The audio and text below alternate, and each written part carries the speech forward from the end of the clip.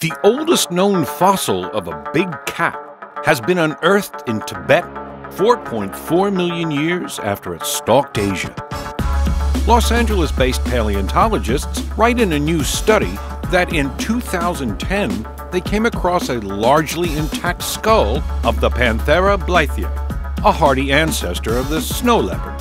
The specimen turned out to be much older than any other of its kind. So old, in fact, that it could extend the fossil record back far enough to support the otherwise DNA based big cat evolutionary timeline.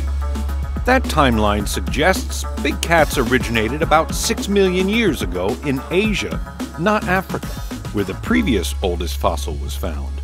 Specimens of early feline predators are limited, partly because so many of the cats preferred habitats that were lousy for fossilization. And researchers believe even older big cat ancestors are out there waiting to be dug up.